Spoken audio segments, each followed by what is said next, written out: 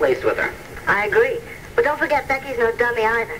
She may have no education, but she does have intelligence. I know that. I figured it out already, and I'll be cool. Good. Keep up the good work. Keep in touch. I'd love to. Why don't I come up and see you sometime? Like tonight. I'm busy, Marco. I'm very busy. Well, too bad for you. Don't you say I never offered is all I can say. Yeah, but then again, you're quite right, Mrs. Lord. You're not alone anymore. How presumptuous of me to question you. Becky, Yes, I'll be in contact in the morning. good luck. Good night. Oh, hi, kid. Hi, Marco. I guess you're on the line with Her Majesty. Yeah. What's wrong? Well, where do you want to start? That bad, huh? Well, for the time being, it is, yeah. You ever run into anybody who thought they had all the answers, Becky? Sure. All the time. Yeah, and there are always people in important positions, like Dorian Lord. They get used to their authority, and they feel they've got to have all the answers. They won't even consider being wrong. For instance, there's something she's about to do. I won't bore you with the details, but I know a way to do it better. And will she listen to me? No. Right. You know, I think it's the money. Gets right up into their brains and destroys them. Or the power, whatever it is. They're not about to listen to somebody who's had no education or training. You didn't go to school neither? Well, yeah, I did off and on over the years. Uh, more off than on. I never graduated high school. But don't you go telling that to anybody, because I'll never speak to you again. Don't worry. I never even made it to high school. Really? Now, that's one more thing we have in common, huh, Beck? You know another thing? I don't care much for Dorian Lord myself. Oh, that lady's got a lot of problems. You know, I keep thinking, if I had her degrees, and her power, and her money, and she won't even give me a chance, you know, there's a lot I could do for her. There's a lot I know. All I need is one break. Just one. Then I'd show her what I'm worth, education or no. You know, I know what you're talking about. Every time I get up to sing at the Blue Ridge Club, I start thinking, if just one good agent, one record producer saw me, I'd be on my way. And you certainly would. You see, I haven't got your talent. I haven't got a voice or a specific ability with which to wow the world. But I've got something. I've got something that makes me want to get up in the morning, makes me want to get out there in the middle of everything and go somewhere and do something and be somebody. Yeah, yeah, I know what you mean. You know, Marco, I think you and me are soulmates. I mean, our hearts, they work on the same beat. Is that? hmm Oh, you're just saying that to be nice. What do you mean, nice? You mean you don't think I'm a loser like Dorian Lord does? Probably the rest of Llanview. No. Well, I'm just living in Llanview for the time being. I ain't part of it. And I know what you're talking about. I feel it too. We just gotta keep on and and we're gonna show 'em all someday. I hope so. Hungry? Yeah, I think so. We go somewhere, get something to eat, and figure out how the hell we got this way. I ain't been able to figure it out so far. Well, it's in our background somewhere. Maybe we can dig it out. On, let's get.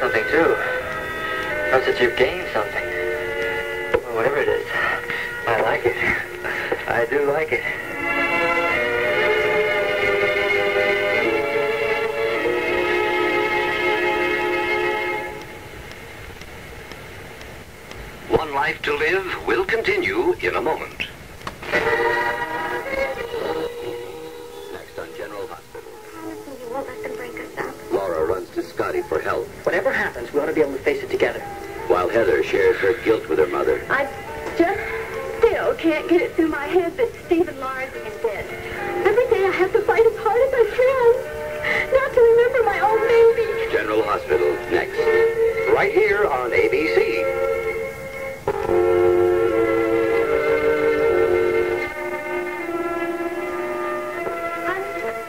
Oh, I'm sorry. Busy. It's all right, then. I'm just working on my book. Your book? Uh-huh. Well, is it a novel, fiction? A novel, yeah. But not much fiction. At least to the very end. Oh, you're almost done with it. Well, I hate to admit this, but this notebook? Well, I have about 15 just like it stashed away. I have been working on this book for years. I don't know if you know it, but I was in show business once. Oh, yeah, I did musical comedies and nightclub and road shows. Have you ever heard of a singing trio called Pearls of the Pacific? No. and then later on, I bought this house and my sister began to take in boarders. And that is what the book is about. About these fantastic boarders who lived with me long ago. There was a man, his wife, his mother, her mother, and two kids. What a family. And I forgot. Two dogs. So I began to begin jotting down things about their relationships and their experiences. Oh, I had to change a few things, of course. But then something untimely happened. They moved. And for five years I've been trying to imagine what happened to them so I could finish this darn thing. well, now, anyway, tell me, what can I do for you? Um, I was wondering if there are any stores open now. It's about 7 o'clock. I needed some things for my room. Like what? Oh, utensils, that sort of thing. Go no further, my dear. You are in the store. I have quite a collection of dishes and scissors and mugs and glasses and knives and forks. Everything that the boarders have left throughout the years. If I wanted to, I could probably start a chain of stores. Oh, thank you. You saved me a lot of trouble. And money. If I weren't such a pack rat, I would have thrown them out years ago. Oh, now tell me, what's happening about your job? Job? Yes, Becky mentioned that you were thinking of applying at the Banner. I just wonder if you have yet. Oh, um, well, actually, I've been thinking about that, and, well, to tell you the truth, I don't have any skills for the banner. I'm a musician. But so is Becky. And she works there. Yes, but Becky's a little, well, well adjusted than I am. The only thing I've ever done is play the piano and well, sing a little. Oh, but that's wonderful. Oh, dear. You haven't been able to find work doing it now, hmm? Well, um, actually, I haven't played in some time. But then how have you been supporting yourself? Oh, darling, I'm sorry. I'm sorry. I really didn't mean to pry. It's all right. Uh, the truth is that I've been uh, incapacitated for some time now. Emotional problems. But I'm fine now. Well, you certainly seem all right. Do I? Yes, of course I do. It's just that, well, despite the fact that I'm 27, I, I feel as if I was 18 and I never left home.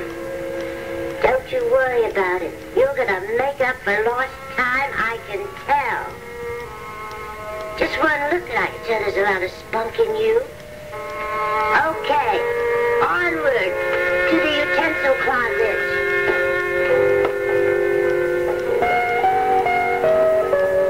Coming up? Yes.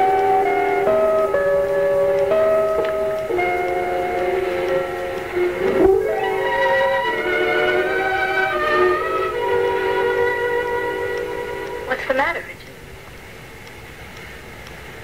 I'm not sure. I'm trying to figure out how to say this, Edwina. I think you're more modern than I am. Not that I'm old-fashioned. But, uh... Maybe it has to do with the fact that I'm not exactly a product of my time, and that people are inherently different. May I inquire as to the subject of this discourse? Morals. Sex. Sex is what I'm talking about, Edwina. Oh, I see. And, and that's what I'm more modern about than you. Yeah, we see, I, I'm different than most guys I know. You know, the all-American male who, who is out trying to get everything he can from a woman, who takes out a woman with the idea in mind that he wants to get her to bed. Not like that. How refreshing. Oh, don't get me wrong. I mean, I've done my share of playing around. But I found out that it's not as satisfying. That I don't enjoy it as much if there's not some real deep feeling involved. That's because you're more sensitive than most men. When I was kissing you, I, I got real carried away. And I thought how nice it would be to just let go. But I knew that I'd feel guilty about it. That's why I stopped. I'm glad you did. Really? Richard, I'm very attracted to you. You know that. And when I'm in your arms, I'd probably do anything you'd say. But in my heart, I don't want to rush into an affair either. I think we should give this relationship a chance to grow. That's the way I feel. That's great.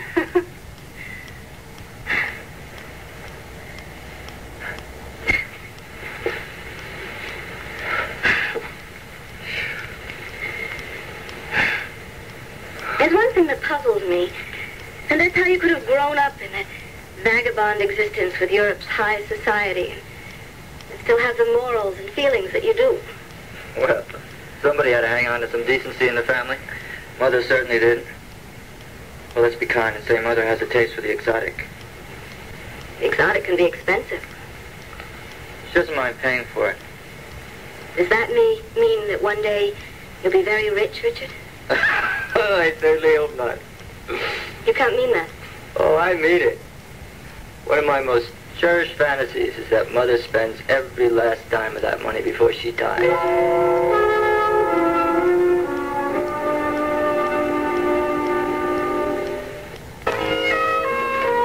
Boy, was it cold out there. You know something I noticed about you tonight, Becky? What, Marco? You have an amazing way of talking a lot without really saying anything. What does that mean? Well, I just mean uh, we sat around all night, we had dinner, and we talked about our backgrounds and where we came from and everything, but I still don't know any detail. I know about as much from you now as I did before we talked. I don't know what it is. Everybody I meet wants to know what happened to me before I came to Llanview. Now, Becky, it's just because when people like you, they want to know more about you. Well, my mind operates on the opposite direction on that subject. You know, Becky, I really do like you. Thank you, Marco. I think you're real nice, too. Shucks. Thank you, Becky. I think you're charming and delightful and very attractive. You don't be surprised if I can't help myself and come downstairs tonight and start knocking on your door. Well, don't you be surprised if I don't open up. Oh, come I know the difference between pretend hurt and the real thing. You're just playing with me. Yes, of course I am. But I am serious about wanting to come downstairs. Well, at least you don't beat around the bush when you try to put the make on somebody. Now, wait a minute. Put the make. What kind of talk is that? You put the make on strangers. That isn't the way I meant it. Look, Marco, you and me have a lot in common. And I know you spent a lot of time in my part of the country, but you've been other places. You ain't no country boy. You're smart and citified and kind of slick. Now, does that make me a bad person? No. But I don't know if I trust you. Because I'm slick and citified? That and uh, you ask about as many questions as a newspaper reporter. All right. I'll try to contain myself from asking so many questions. I hope you won't hold that against me, Becky. As long as you stay up in your own room at night, I'll keep liking. I'll try. I can't promise you that I'll do that, but I promise you I'll try. All right? Hey, that's your guitar over there? Uh-huh. How'd it get down here? I was practicing with the piano. I left it down here. Think maybe you could uh, play something for me? I'd love to. I see you're one of those performers who needs a lot of coaxing, huh? Woo, Becky Lee Hunt. Now that's a good name for a country western singer. Yep. And if my income ever matches my name, Dolly Parton's gonna have to move over. Yeah, I'm really, really sorry to bother you. I just didn't know where else to go or who else to turn to. I, I'm really unhappy. I know that, Karen. I can see it in your face. I saw it the minute you came in the room. Oh, great. Maybe I should hang a sign around my neck, huh? It's perfectly understandable. You're separated from Larry. You're living in that house all by yourself with no one to talk to, just your memory. Yeah, sometimes. Well, even when Larry and I were together, I, I saw him once in a while, but now, nothing. Uh, you know, it's funny, Jen. When you talk to the four walls, they don't they don't answer back. And I don't know. You know, I was depressed at Brian's funeral today, and oh, I I don't know. Well, maybe you just have to decide what you want and, and how you're going to go about getting it. Jenny, you don't understand. Something interferes with my thinking. It's like this afternoon. I came home and I I wandered around the house. I feel like a stranger there. Like I don't belong. Like it's not mine, like I'm a visitor. And I I found some laundry and I thought, oh wow, great, something to do. So I put the laundry in the machine. And I just sat there. And I listened to the machine chugging away. And then I took the the laundry out of the machine and I put it in the dryer. And I just sat there. Sat there watching the clothes for about 30 minutes. And I just watched them get tossed around, round. Jenny, that, that's what happens to my mind sometimes. My, my thoughts don't, don't lead anywhere. The, like the clothes. Just go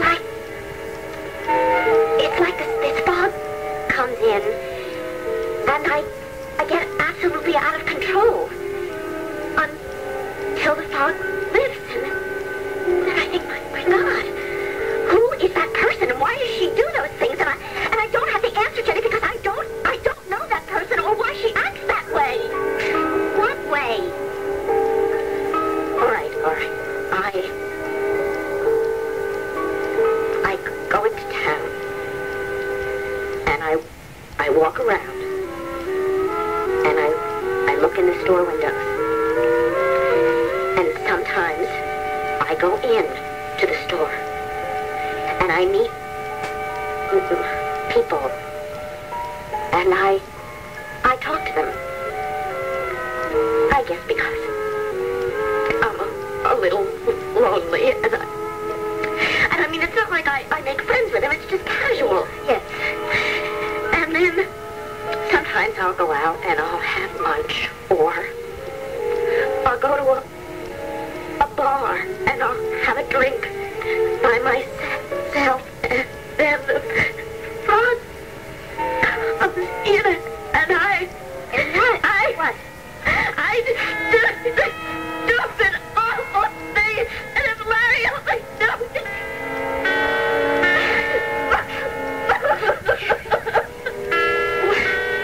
What? Um, what? You spend money. Is that what it is? You spend money and Larry doesn't know anything about it. Karen, you have to tell me that. I mean, I know that already.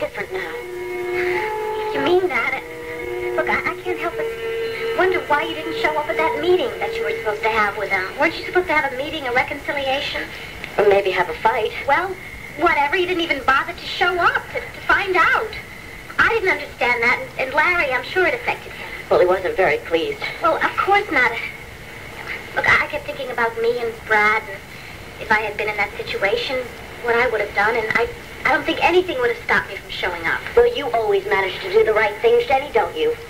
As our parents took the trouble to point out daily, you and I are very different.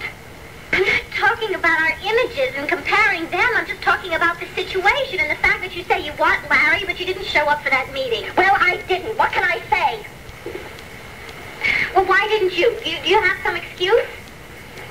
Look, Jenny, I was scared to death. I didn't know what to expect when I got there. I let the time go on, and finally it just got too late. Did you tell that to Larry? I tried to. He doesn't believe me anymore. He doesn't trust me. Well, it seems to me that it would have been a step in the right direction if you had called him and, and explained that to him. Well, I didn't. I made a mistake. So I messed up again. Don't I get another chance? I mean, Do, do you want another chance? Jenny, look. I can't live alone.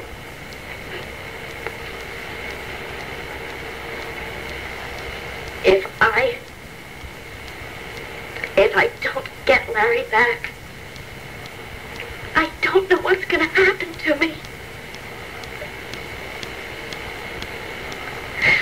Jenny, gotta help me. Please. Karen, I'm trying to. Look, I'm, I'm trying to help you. I, I just, I don't understand this. I'm just trying to get it straight in my own mind. I'm confused. Uh, uh, so am I. Look, you haven't talked about the basics. Uh, like what? Well, like, are you in love with him? You haven't said that. Haven't I? Well, no. Are you? Of course I am. Well, I don't know that. And, and Larry doesn't know that. Don't you understand that? I'm sure if he did, then he would want you back. I don't know if Larry believes that he still loves me either. Karen, come on. I talked to him. I know he's very upset about all this. Look, he doesn't understand who he's dealing with with you. He, he, he just doesn't understand. Yeah. Well, I mean, when you didn't come to that meeting, he thought maybe that you didn't care. Well, I, I can understand that, and I, and, I, and I don't blame him for that. Well, then why don't you tell him? Why don't you talk to him? Tell him that you love him. Make him know that you need him. I honestly don't know, Jenny. And that's the truth. Look, have you ever thought about seeing Dr. Vernon? Will? You mean as a patient? Yes. Oh, come on, Jenny. I mean, who do you think I am? Cathy Craig or somebody? I'm not saying that you're anything like what Cathy Craig was, but I think that Dr. Vernon could help you. You're implying that I need psychiatric help. Well, Oh, wonderful. My own sister thinks that I'm crazy. Come on, that is a Stone Age attitude to take about psychotherapy. I mean, what's crazy is having a problem and not being able to deal with it. I can deal with, with whatever problems I have by myself. Karen, didn't you just tell me that you're out of control, that you don't understand who you are, what you want? So I come to you, and I confide in you, and you just turn everything against me. You turn it into my fault. I'm not turning against you. I'm just saying that I think that you, you could get some help and that, that he could help you. I'm just saying that because I know about psychotherapy. Well, I don't need psychotherapy. I need my husband back. Look, Jenny, I thought that if I came over here, that you'd be able to understand me and understand my problems, but obviously you can't. All you can tell me is that I should go to a shrink. Well, thanks a lot, Jenny. Wait a minute, Karen. Look, don't run away from this. You know that's not going to help. You know everything, don't you? Except about your wonderful husband. Let me tell you something, Jenny. Someday, when you need a shoulder to cry on, and you will, be sure to come to me. I'll be as considerate of you as you were of me.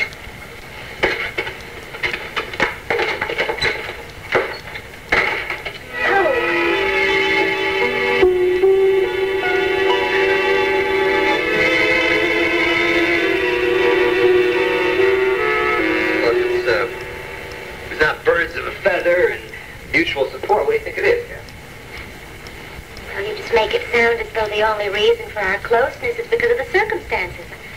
I just don't think it's going to change.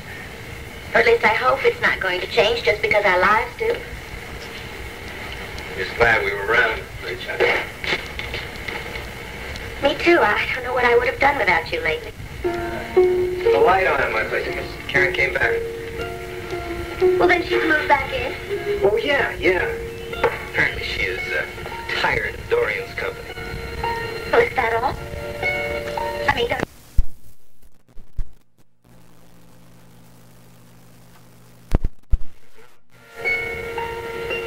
I honestly don't know what she's waiting for.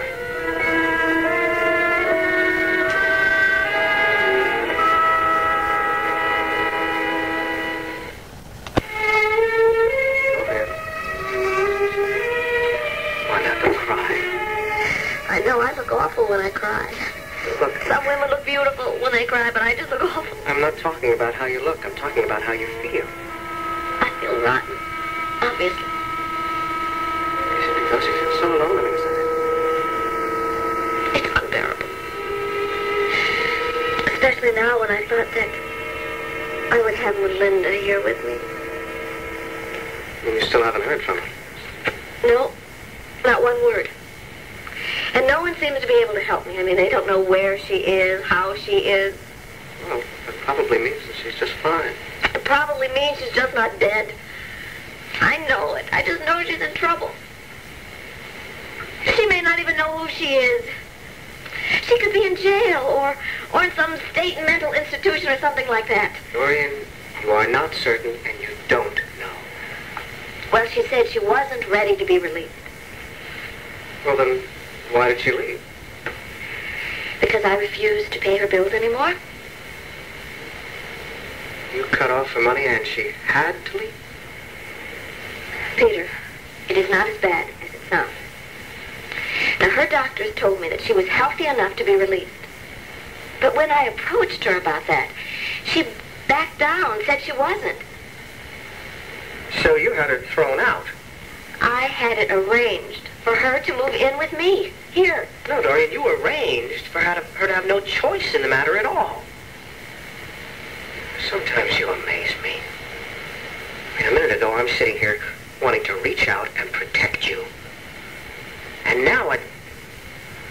I'm furious with you. Peter, I did all of this for Melinda. Let me explain I got there and I saw what this place was like, I realized I had to get my sister out of there. Now, if these doctors were right, surely they wouldn't have released her if she weren't ready. But you, you cut off her funds. But Peter, that was because no one could convince me that they could do anything more for her. I know my sister. I know she belongs here with me where I can give her the best of everything, including psychiatric treatment. Now, I sent her a plane ticket. Why didn't she use it? Well, I suppose probably because She felt she was being forced to come here. Peter, she has no place else to go. Excuse me, but apparently she has found someplace else to go. But she has no training to do anything except play the piano. Oh, you, So even if she were able to fend for herself mentally, she can't support herself. Look, there have to be lots of lounges where they have piano players. Oh, Peter, you don't understand. Melinda was a classical pianist, a child prodigy. Then she had an accident. She fell off a horse and got seriously hurt. And she hasn't been able to play since then? Well, not because of that accident. It was, it was because of another accident. You see, my parents weren't home at the time, and so when we reached them, they chartered a small plane so that they could hurry back. And that plane crashed, and they were both killed.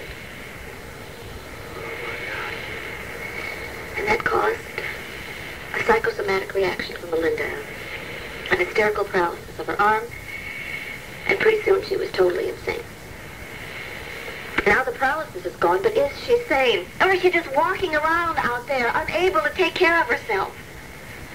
Pauline, I would like to be able to answer that for you, but I can't. Peter, if I have caused any further tragedy for that girl, I don't think I'll ever be able to live with myself.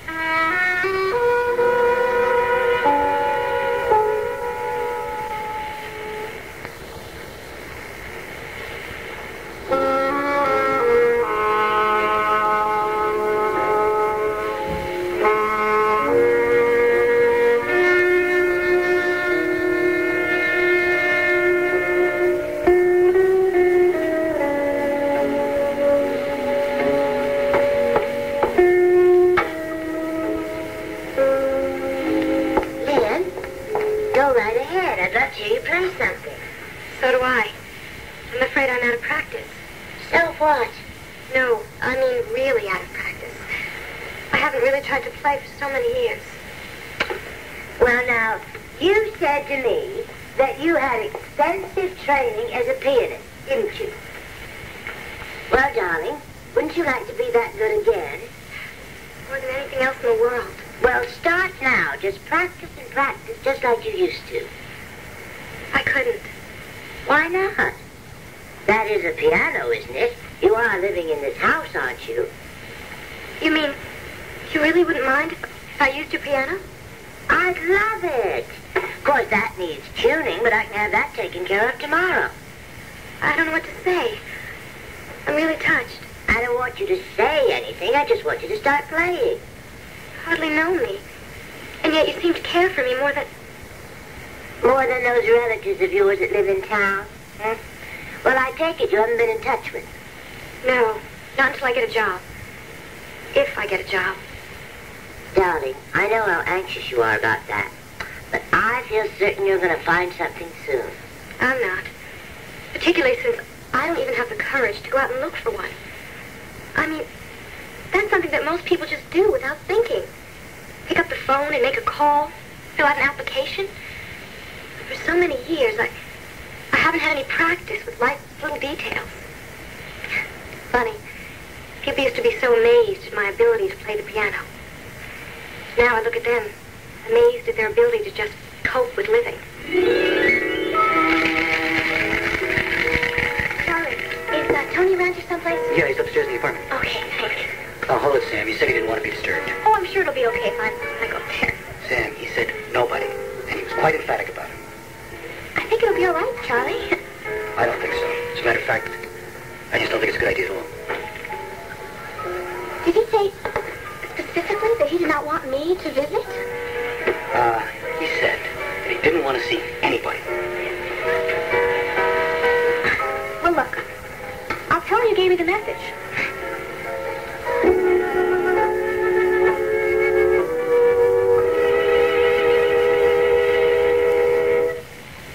Life to Live will continue in a moment.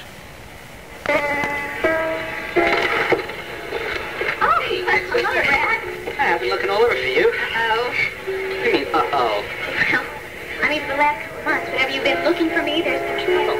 Well, Pumpkin, there's trouble all over the world, so why should I be any different and not have any, huh? Okay, what now?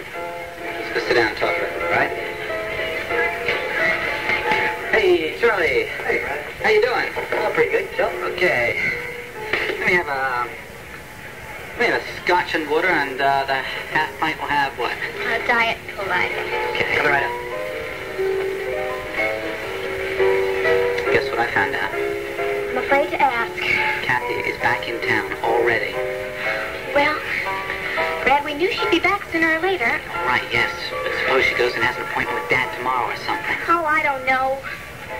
Sam, I, mean, I can hardly follow her around all over the place, spilling coffee all over her every time she tries to take off her gloves. On the other hand, I have got to do something to keep Dad from seeing that ring. Look, I haven't the slightest idea. You're acting as if you don't care much either. Well, look, I'm a little bit tired of this, okay? I'm tired of the whole thing. Here we go. Hey, thank you very much. I mean, I thought since the inquest was over, we'd be through with all this stuff. Yeah, so did I. I mean, who could have possibly foretold that, that Lana's mother would give Cathy the ring? Not to mention, how could I have been so stupid as to leave it in her room the night she died? Well, how could you have been so stupid to give it to her in the first place? All right, Sam, you're perfectly right, but it is too late to do anything about that now. It's too late to do something about the rest of it, too. Cathy has the ring. She may or may not wear it when she sees Dad. There is just nothing we can do about it. I... There has to be something we can do about it. Because if Dad sees that ring, he's going to know not only was I in Lana's room the night she died, he's also going to know that I lied through my teeth at the inquest. Well, look, I was the one who told you in the beginning that you should tell the truth and you wouldn't have this thing hanging over your head for the rest of your life. And go through the rest of my life without Jenny? No way, Sam. No way. Sam, I did what I had to do. One Life to Live will continue in approximately 30 minutes after the following live report from ABC News. General Hospital will be seen in its entirety following One Life to Live. We interrupt our regular program schedule to bring you the following special report from ABC News in Washington. Here. The only time a satellite needs a long-lasting power source that's free of the use of uh, solar energy, which can be derived from the sun, is when you go into deep outer space. For instance, if we should send a probe to the outer planets, there would not be adequate source of energy from the sun to uh, trigger our uh, solar cells, and we might need power from atomic sources then. But I see no reason for us to continue with the option of nations to have uh, Earth orbiting satellites unless uh, much more advanced safety precautions can be initiated. Mr. President, since uh, I assume the subject will come up when you meet with uh, President Sadat, could you give us a general outline of your view toward our helping uh, Egypt acquire arms? We've been, uh, of course, facing the, the uh, continuing prospect for a number of years of providing some weapons into uh, the East, heavily to Israel, also to Saudi Arabia, to Iran, and uh, to some degree the non uh, weapons to uh, Egypt. All these nations have requests to us for weapons. We now resume our regular program schedule after this from our local stations. We now continue One Life to Live, already in progress. General Hospital will be seen in its entirety approximately 23 minutes from now. Cook me dinner? Yeah, as a matter of fact, I can cook. Oh. I can, um, oh, I'll fry, I can fry eggs, right? oh, all right. Well, listen, why don't you make me an egg tomorrow? Fry me an egg tomorrow, and we'll be even, all right? Okay, is it a deal? Yeah, okay. Okay. Mm. Hey, by the way, whose car was that in the driveway? I didn't recognize it. Oh, Vinnie and Wanda's. Oh, Yeah. Cathy's over there, too. Really? Uh-huh. Listen, I've spoiled your evening. I kept you from having a nice dinner with your friends. How about dessert with them? Oh, oh, maybe they already finished dessert. So, we could go there and just chat, chat, talk. What do you say? On, it'll make you feel better. Well, if, if you want to, Brad. Yeah, sure, I like them too. Not sure about that. Well, I like them. I, I just, I don't relish the idea of living in the same house with them, but I like them. Come on, hey, how about it? Let's go. Oh. All right, I'd love to. Yeah. Okay. Mwah. After you, madame.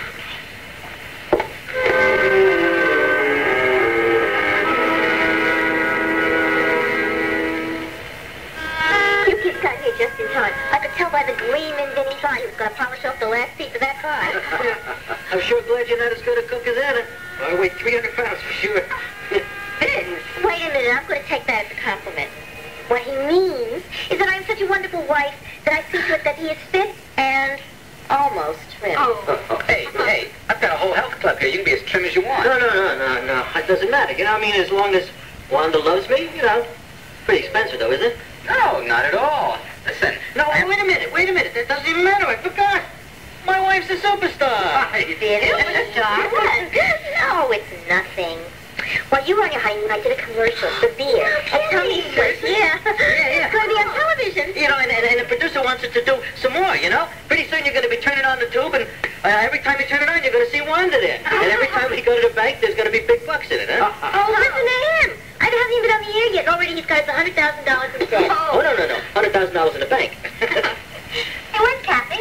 Yeah, I thought she was going to be here. She's on the phone in the kitchen, something to do with her magazine piece. It's so great they gave her that assignment. Yes. That's the first thing that's made her smile in months. Is she still upset about Lana's death? Yes, Brad, I'm afraid she is. But Vinnie, what's happening down at the police station? Any clues as to who the hit-and-run driver was that ran Brian down? no, afraid not, Jim. But, uh, you know, we've been working on it. We've been uh, checking out cars because we got those two license numbers, and we're trying to find uh, a car that fits the description, you know, I the see. license. Do we go pay off? Yeah, yeah, sooner or later. Sooner or later, um, we get most everybody. I don't know how the man who did that can live with himself. Well, I'll tell you, when we get him, he's going to have a hard time living with us. Oh, hi, hi, Jenny. Brad? Hey, Cathy. I was just wondering where you were. Well, I was on the telephone to New York. Oh, uh, good news. Yes, yes. The man I was unable to see yesterday, well, he can see me tomorrow. Oh, well, that means you'll be going into the city again tomorrow morning. Yeah, I think I'll probably take the early flight in. Oh, What's wrong? oh, I just remembered. I left my stereo to be repaired, and they're supposed to deliver it tomorrow between 10 and 11, but I'm not going to be able to call them. I'll have to leave earlier than that. I'd be glad to go over and wait for it. Oh, Anna, would you? Yeah, yeah, and, and maybe she can even talk to your plant. It may come as a surprise to you, Vince, but I don't talk to plants. really? I hum to them. Here, here. Well, listen, that, that would be great, and I'll get you a spare key. But we have one of those, honey, don't we? You do? Yes. You gave it to us before you moved over there. I have it on the uh, pegboard out in the kitchen. Oh, is that our phone? Uh, yes, okay, let's stay put.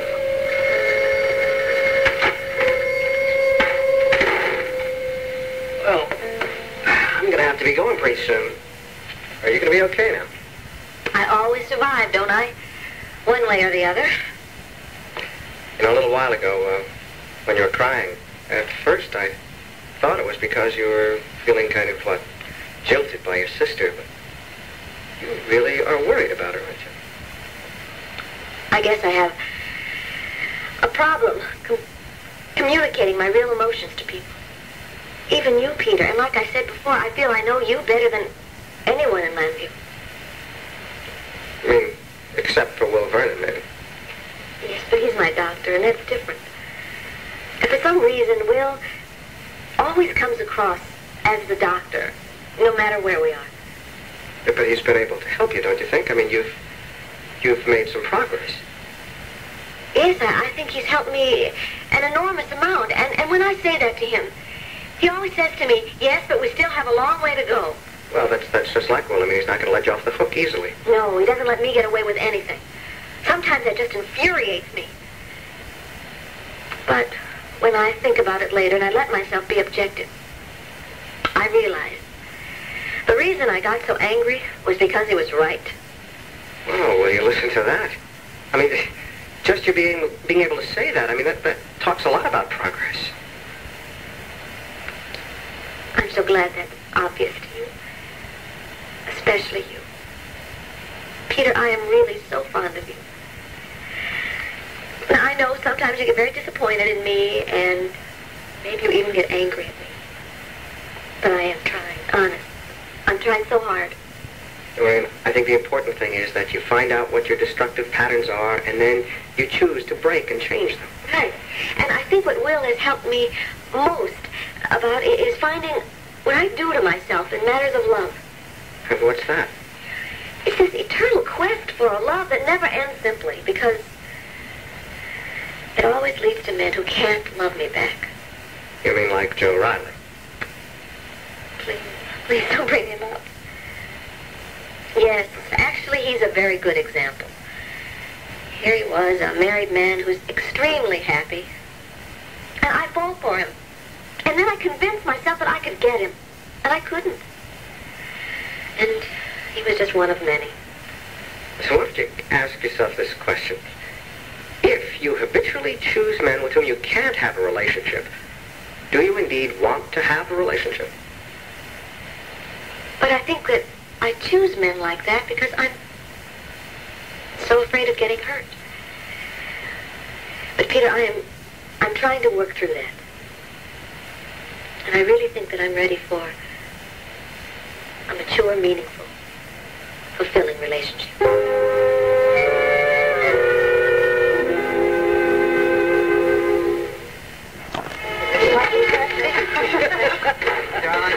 uh, listen. Sorry. I'm sorry. The janitor called. The boiler's broken down again. I had to call the repairman. I told him he didn't fix it right this time. I was going to sue him. Well, I guess it'd be pretty hard to have a steam room without hot water. Uh, not to mention, say, hot showers, right? I guess you don't know how long you're going to be home. No, I'm sorry, I don't. But, well, thank you very much for the pie, which was terrific, and the company, which was likewise. Uh, can I drop anyone off anywhere? Oh, thanks. No, that's we have the car. Okay, uh, Cathy? No, thank you, Brad. I think I'm going to stay here for a while. Okay. See you later, love. Okay. Bye-bye. Bye-bye. Oh, hey, would it be all right if I go out to the kitchen? It'll be quicker. Oh, sure. All right? Drive carefully.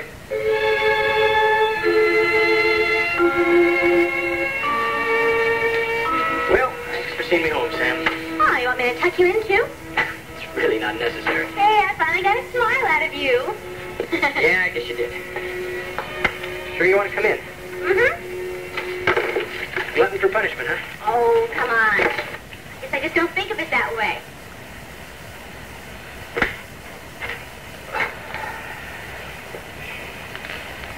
Oh, Well, I didn't say two words the whole time we were in the car. that's okay.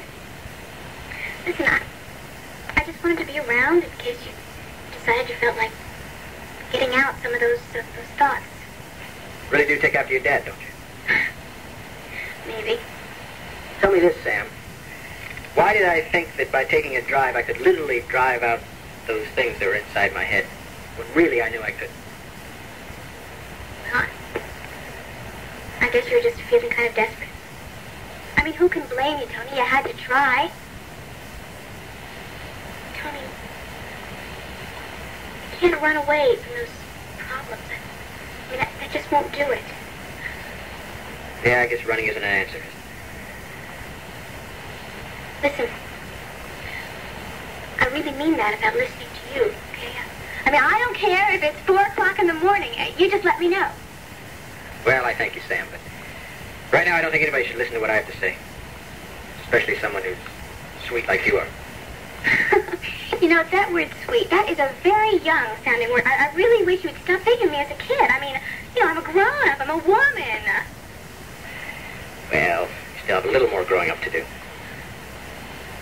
I just don't want my bitterness to influence you in any way, Sam. Listen, maybe it'll affect me the opposite way. I mean, maybe some of my, my wonderful sweetness will affect you. I already has. Promise me something. Sure. She won't let me hurt you. You see, I've got all this anger inside, and I'm not really in control right now. But uh, I, I don't want to do anything that would hurt you. You understand? See, I, think that you're a very special person, a very beautiful person. You're a, great Oh. A great kid? Hmm. Tony, I guess I better be getting home. I'll leave you to all those, those bottled up thoughts of yours.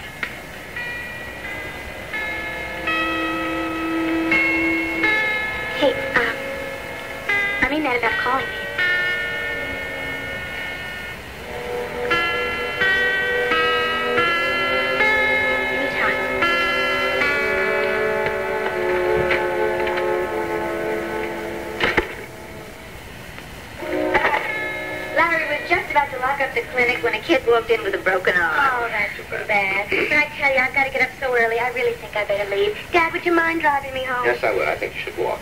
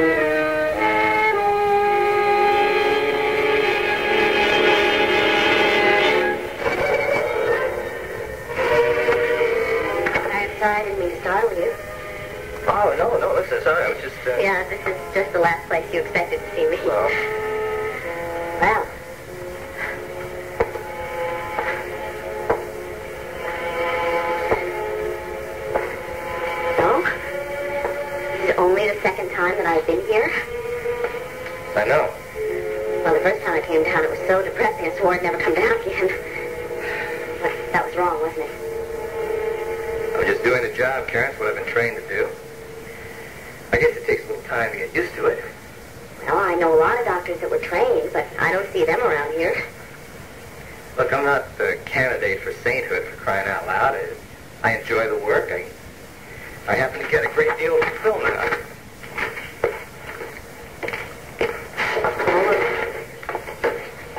You see, you found something satisfying and fulfilling, and that's something I haven't found in my life. So I wanted to come down here, and I wanted to see exactly what it was that made you rush out every night after dinner. You been here long? About an hour or so. But out in the waiting room. It was fascinating. I was looking at the faces of, of all those people, and I... They seemed so much happier when they came out than when they went in, and I just thought, oh, oh, wow. My husband, and he's making a difference in people's lives, and I want to do that too, so here I am, put me to work. I'm doing, We're doing what? Well, well, what, what do the other volunteers do? What, what does Cathy do? Well, yeah, Cathy, she's kind of the head honcho, you know. She uh, organizes the volunteers, works out the work schedule. So I guess I should talk to her. Are you really serious about this? Of course, Larry. Why wouldn't I? All right. All right. I had that coming. I know I've made a lot of beautiful resolves in the past. Nothing's come of it. So about to close up shop? Yeah. In fact, I am. Oh, oh you want to come home? No, I'm going to the house. You want a nice tap or a cup of hot chocolate? Thank you, Karen. I, I can't. I gotta go run over to the hospital and check on a post-op patient. Oh, well, maybe another time. Yeah. I want you to the car.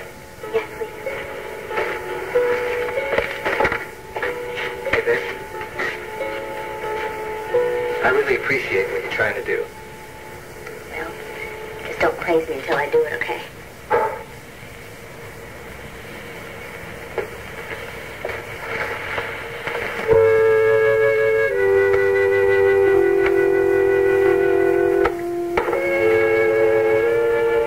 Is Brad here? No, he's at the health club working in the boiler. Good. I think this is really stupid.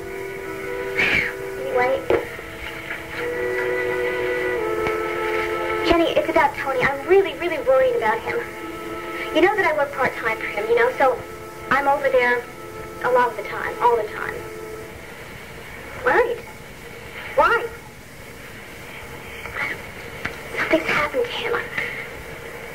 It's like, it's like he's just resigned from the human race. I mean, last night he stayed in his apartment practically the whole night. I, I tried to get him to come out, but he just, He just wanted to sit there all alone, you know, in the dark. Jenny, do you realize that he hasn't really, really talked with anybody since the funeral? Well, Sam, people work out their griefs in different ways, and if that's the way he needs to work it out, then maybe you ought to leave him alone, at least for a little while. But, Jenny, this is more than just grief. I'm really even afraid to think about it, but it seems like he's had a complete breakdown.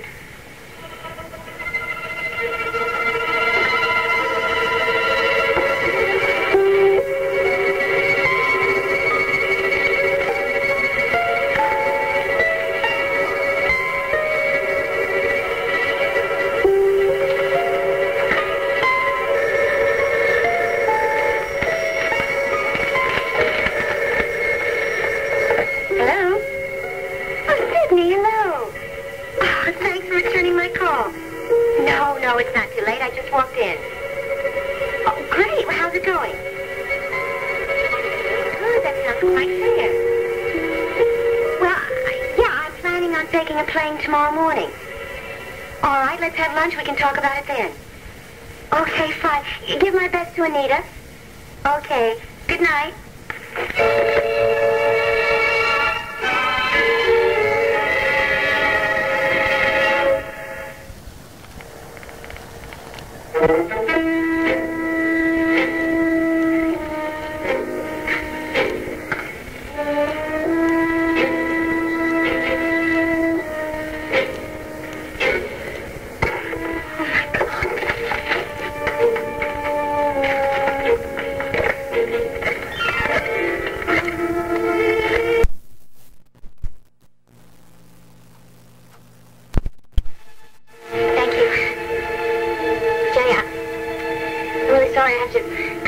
Time and bring you all my problems. Sam, it's as serious as you say it is. It is, Jenny. I'm not exaggerating. Well, I'm sure that if Tony realizes that he's in trouble, then he'll get some help. Yeah, but how? I, from whom? Maybe from from your father, or maybe from Pat. If enough time goes by, any number of people. No. No, not any number of people. There's hardly anybody that understands Tony like a, like you do. Yes. Why? Well, Jenny, Tony and I have a very special relationship. I mean, haven't you ever known anybody where, you know, you don't have to be told what's what's going on in their head, or you don't even really need to talk to them to find out what's going on inside them. You just know. Well, that's that's how it is with me and Tony. Or at least that's that's how it used to be.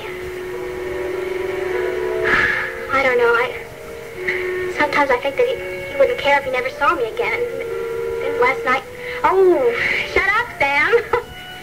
Talk too much.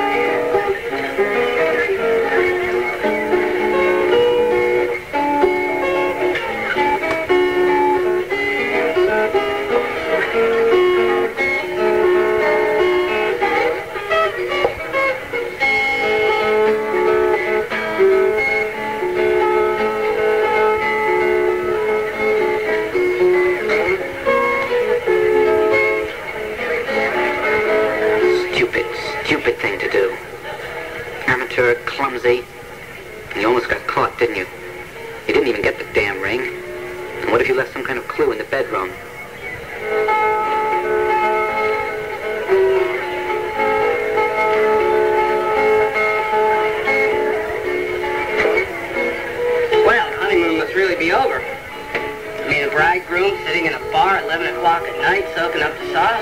What the hell are you doing here, Marco? Just mind my own business. Uh, until I saw you sitting over here. Yeah, why don't you go back to wherever you were and keep on minding Hey, now wait a minute. I just came here to extend the great hand of fellowship. Look, Brad, I'm willing to let bygones be bygones. Come on, man. Think it's off. What have we got to be uptight about?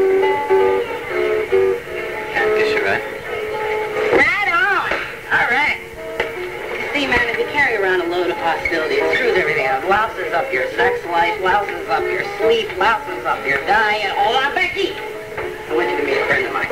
Brad, this is Becky. She's the star of the show around here. Becky Brad Vernon. How you doing? Glad to meet you, Brad. What do you say we have a drink? I'll meet you. Yeah, sure, I'd be glad to. Actually, that's kind of a euphemism because Becky doesn't really touch the hard stuff. I happen to know, though, that she's a far-gone root beer freak. I'm afraid so. Uh, do we gotta have here?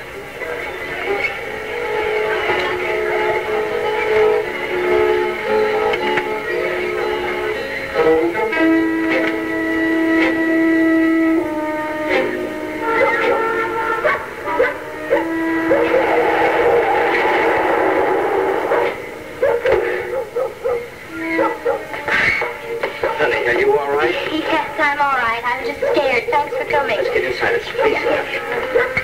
Yeah. Scared more than anything. Just take it easy. Oh, darling. Oh, so sorry. Oh, did you call the police? Yes, yes. As a matter of fact, Ed's on his way over. He just happened to be in the, the station when I was giving the information to the desk sergeant. There's nobody in there. Oh, well, I, I figured that he'd gone out the window, but to tell you, I, I was too afraid to look. No, no, you better not to go in there. You did the right thing. Well, I don't That know. must be it. Oh, hi, Jen. Is everybody all right? I hope so. Come on in. Cathy. Oh, Ed, I'm, I'm glad to see you. I'm sorry if I alarmed you. That's I, all right. That's what we're here for. Now, what happened? well, I, I, I came into the apartment and, and somebody was in the bedroom, or at least they had been a few minutes earlier, and, well, my, my jewel box was open and uh, everything was scattered all over the place. The bedroom window is wide open. That's Yes. the window around to the south side of the house. huh? Okay, we'll take a look at that. There's some snow on the ground. We ought to find some good footprints. Excuse me. Harris, we're going to go around the side of the house. Stay on the walk. Don't walk in the snow. Oh, Cathy, you better sit down. It's the worst feeling to have to be robbed. It, it's such a...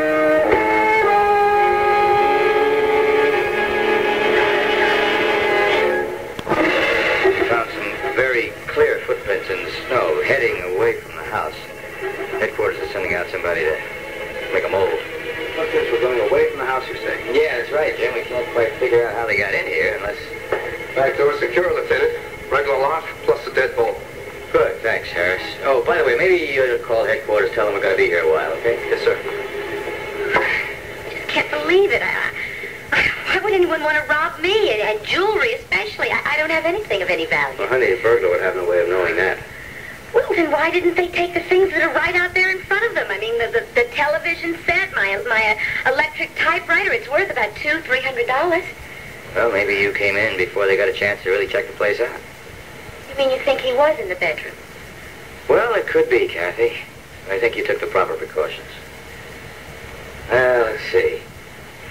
No forced entry, the doors weren't jimmied. All the windows are locked except for the one in the bedroom. Oh, well, I locked that, Ed, this morning when I got up, and when I shut it, I, I lock it out of a matter of habit. Oh, it had to be unlocked from the inside. Footprints in the snow confirm the fact that the guy didn't come in that way. The only other thing it could be, Cathy, is the guy had a key to your house. But how could that be? I, I've, I haven't lost any keys. I've only got two sets. Anna has the other one on the pegboard in our kitchen. Is it still there, Anna? What? I'm sure it is. Cathy, do you keep your house keys and your car keys in the same ring? Yes, yes, I do. Why? Well, when you when you park your car in a parking lot or a garage or anything, do you leave the ignition key and then take the rest of the keys off the ring? No, I, I leave everything. I think I see what you're getting at, Ed. Someone could have made a copy of the house key. But I don't understand. How could they do that? I mean, it's just a, a, a key ring. It doesn't have my name and address on it. Where you keep your registration for your car. In the glove compartment. Registration has your name and license and, address on it, right? I see what you mean. Well, it's unlikely it happened that way, but I just wanted to point out that that's how people's keys can't get copied. Yeah. Ed, is it possible that the door lock was picked? I don't know, Jim. The main door and the dead bolt, it's, it's unlikely. I'll tell you, it's an awful feeling to think that somebody's walking around with a set of keys to my Well, apartment. don't you worry about it, honey. First thing tomorrow morning, we'll call somebody and have all the locks in the house changed. Uh, tonight, you better come home and stay with us. No, Anne, I can't do that. You've got Larry and Danny staying there. You don't have room. We'll open up the sofa bed in the den. Well, Honey, would you just do me a favor? Don't argue about this. I'd feel much better if you didn't sleep here tonight. I think he's right, Cathy. All right, all right. I'll go and get a few things. I'll just be a minute. good. Oh, I, I would prefer if you didn't really disturb anything in that room until we've had a chance to check it out. Well, I've got a nightgown on the bathroom door, and I'll get my toothbrush, all right? Okay. I'll just be a minute.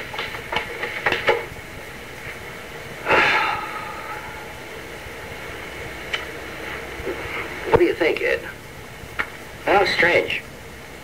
Doesn't fit the pattern of a professional burglar.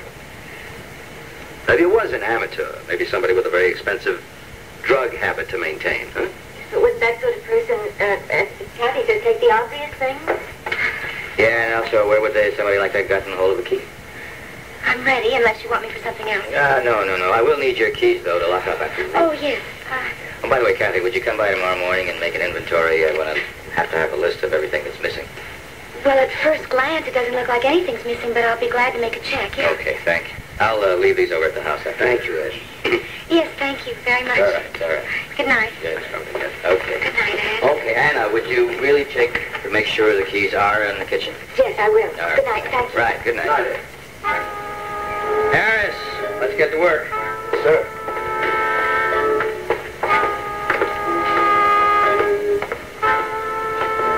Why don't you start with the windowsill? That's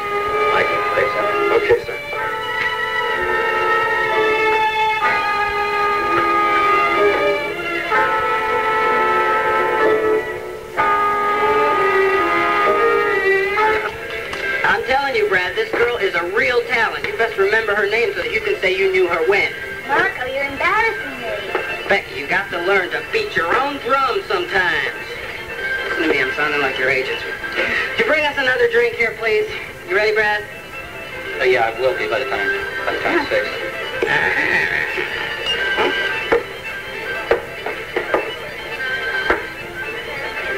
No, hey, I'll pay for this round. Why, thank you, good buddy.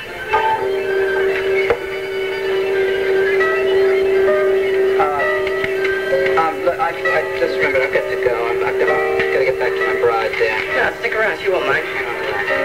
No, I've got to go. Boy, that's what I call a good husband. Worried about his wife, sitting home alone waiting for Don't him. you believe it, Becky? What? I goofed introducing you to him, I'm sorry. Why? He's a rotten person. Oh, especially where women are concerned. Why were you so nice to him then? I don't want him sneaking up behind me, that's all. He's a dirty fighter. I know from experience. You don't mind.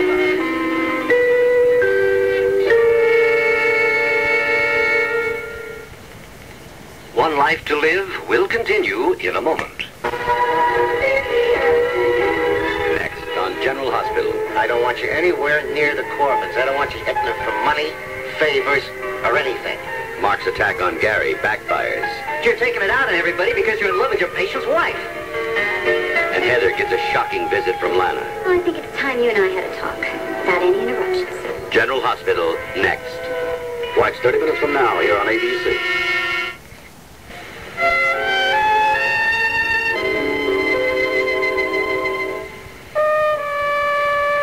Jenny, I, I really ought to be getting home. I'm sure you have another early day, and here I am keeping you up again. That's okay. I want to wait up for Brad anyway.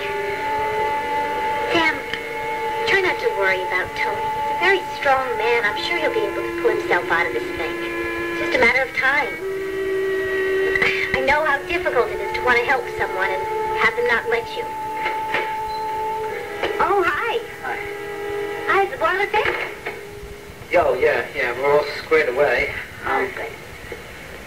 Hey, listen, uh, did, uh, Anna and Jim go out? I rang the doorbell and there wasn't any answer. Oh, yeah, I know. They went off in a big hurry. I don't know why. They just came in here and asked me to take care of Danny. See, I um, when I called the guy about the boiler, I I, uh, I wrote the, the number down um, on, on a pad of paper, and I, I can't find it. I think I may have put it down in there. Did you be all right if I went and looked? Sure. I really should be get going. okay. I, I want to thank you for everything, Jenny. Sorry. You know, I always wanted to sister. I, I kind of feel like I have one now. Sam, I don't know what I did to help. Oh, listen, just being here to talk to you was great. Oh, one thing. Um, please don't say anything to anybody about what we've been talking about, about Tony. I, you know, I, he may not want anyone to know. No, I, Hey, Sam. What are you gonna... Don't rush off. Why don't you stay have a nightcap with us, okay? Uh, no, thanks. Anyway, I think you've had one already, haven't you? Well, I... Well, I, sure, I offered the, uh, the repairman a drink from the bottle that I keep in my office. I mean, you know, I mean, thanking him coming all the way out there in the middle of the night, practically, right? And naturally, you had to join him. Well, I, I had to be sociable. oh, I think Anna and Jim are home. Hi, Ann. I was just going to come over and see you. Danny's fine. I haven't heard a peep out of him all night. Thank you. I'm sorry to run off without any explanation, but um, Cathy had a very frightening experience tonight. What? Her house was burglarized. Oh, no. And the worst part of it is that the man was apparently still in the house when Cathy came home. He got out the bedroom window. Oh, well, did, did he take anything? We're not sure. The police wouldn't let Cathy touch anything. Uh, they're going to dust us for fingerprints and all that. Cathy's going to spend the night with us, naturally. I, I think that's probably a good idea. I mean, she must be very frightened. Well, she's all right now, but the thing is, Ed Hall is pretty certain that the burglar has the key to Cathy's front door, so naturally she'd feel uncomfortable staying there, and until we have the locks changed... Oh, Lord, I almost forgot. Uh, we have the spare key to Cathy's door, and it's on the pegboard in the kitchen. I promised Ed I'd check and make sure we have it. Okay, excuse me. Okay. Well, uh, I think I'll see if I can do anything for Cathy. Okay? Yeah.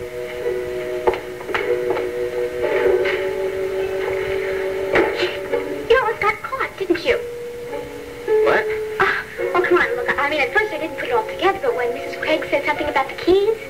I, I don't know what you're talking about, Sam. Well, well, come on, Brad. Just a few hours ago at Tony's place, you tried to get me to do it, but when I wouldn't do it, you went ahead and did yourself, didn't you? Well, Sam, I, I don't know what you're talking about. Brad, don't deny it. Did you get the ring? No.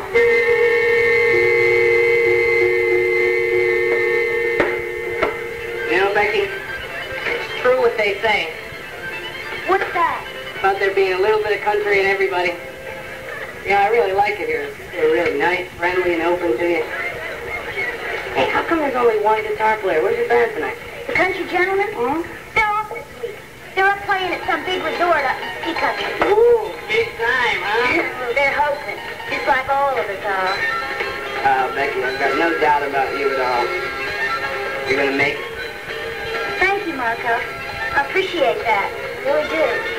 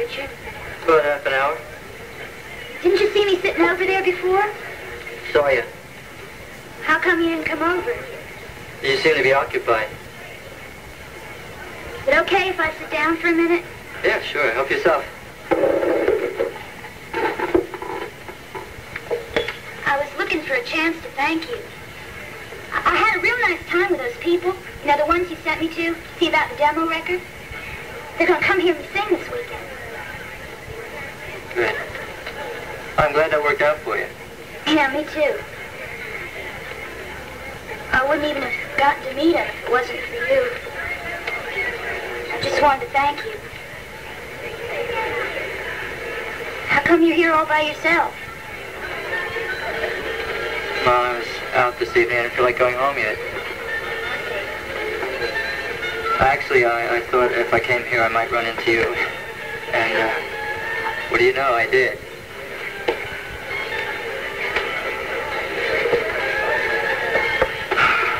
Getting pretty friendly with that guy, aren't you? Marco? Shoot, Richard, he's not a bad person. You'll never learn, will you? I just think you're naturally suspicious. Or you just don't know him very well. What was going on between him and Brad Vernon? Nothing. They were just talking and having a drink. About what? Just real friendly, you know. Those two friends?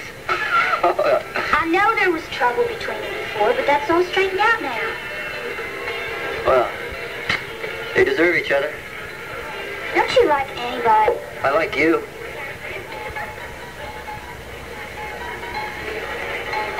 I don't like to see you getting involved with guys like that. I can take care of myself. Yeah, that's what you said about Clint Buckley. You're never gonna let me forget that, are you? Well, excuse me, Richard. Thanks again for all your help.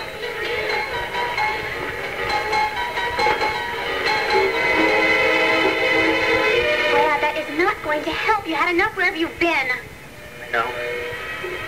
Talk about stupid. Come on, Sam, knock it off, will you? I know it was stupid. I know I almost got caught, and the whole thing was for nothing anyway. But don't you see? I, we were all over there after dinner, and we were. Anna was talking about how the keys were hanging right there in the in the kitchen, and I, I was looking at Cathy. She was sitting right there with us. I could see she didn't have the ring on. So, then you had to make up the story about the health club? It, it seemed like a good idea. I just, I, I went through the kitchen, I grabbed the keys, and I just went tearing off to her place. Tell me what happened. Why didn't you get the ring? Give me enough time. I, she must have left right after I, I, I did. I, all I know is I, I got in. I, I no sooner had I gotten into her bedroom, I just found the jewelry box. When all of a sudden I heard the front door open. Oh, Brad. She almost caught me, Sam. She would have caught me except for the phone ringing. She talked on the phone for a few minutes, and I went out the bed, bedroom window. I, Brad, you must have uh, fingerprints all over the place. The police are in there dusting for them right now. no, I wore gloves. There won't be any fingerprints.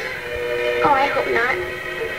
Oh, Brad, please, please don't do anything like this again. Sam, look, Sam, I've got to get that ring somehow. If Dad ever sees it, he's going to put the whole thing together. My alibi's going to be shot, they will reopen the inquest, and I will probably be indicted. Brad, you didn't have anything to do with Lana's death. I know that. I know that, but don't you see, I've, I've, I've obstructed justice. Is everything all right over there? Yeah, I guess so. Well, I, I guess I, I better be going. I'll see you. You take care of yourself. Sam, care. Well, thank you so much for talking, Jenny. Yeah. I'll call you, okay? Okay. Okay. Bye. Bye-bye.